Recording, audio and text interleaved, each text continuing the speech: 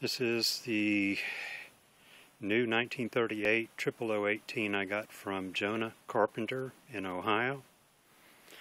The guitar appears to be all original frets, one through maybe three, look like they need replacement. Fingerboard thickness is actually pretty decent. It's battle scarred been in a lot of dogfights. Original bridge, saddle looks cut fairly low, four of the original bridge pins. Uh, amazingly, uh, there's a B-string crack.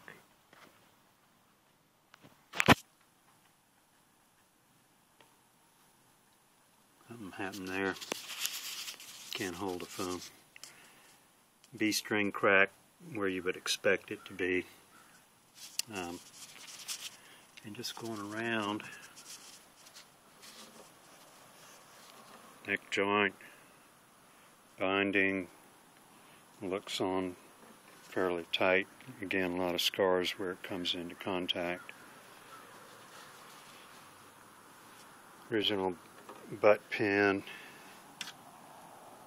Set this up upside down little divot there on the neck.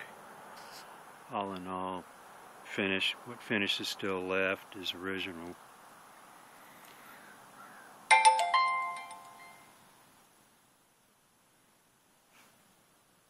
So it's it's a soldier.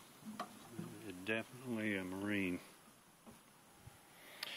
And I like the uh, tortoise binding.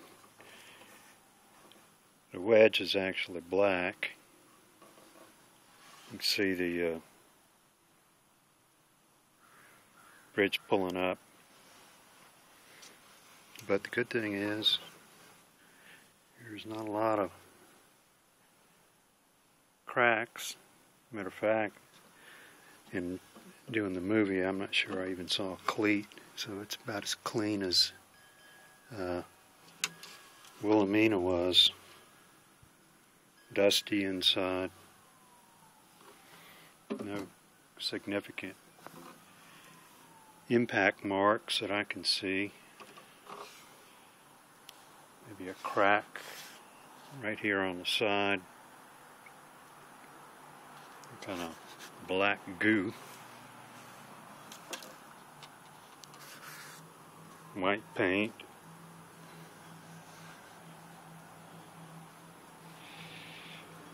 Top not under tension, but I don't know if it's been abused.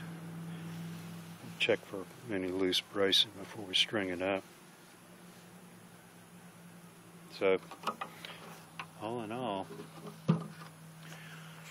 it's the real McCoy.